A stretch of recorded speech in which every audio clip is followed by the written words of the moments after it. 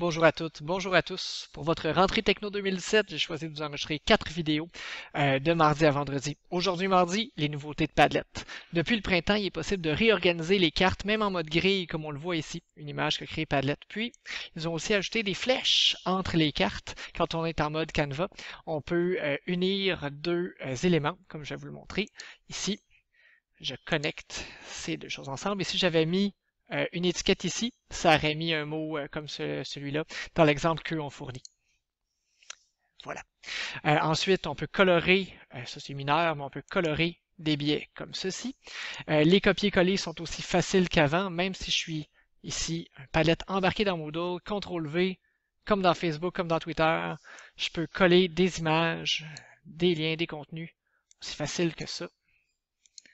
Voilà c'est une autre chose. Ensuite, des nouveaux modes de présentation et des modèles de documents, comme on le voit ici.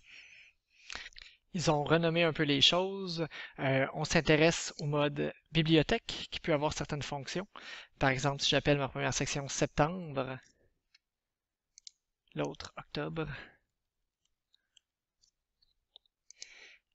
les cartes peuvent s'inscrire ici comme le bon Padlet qu'on connaît.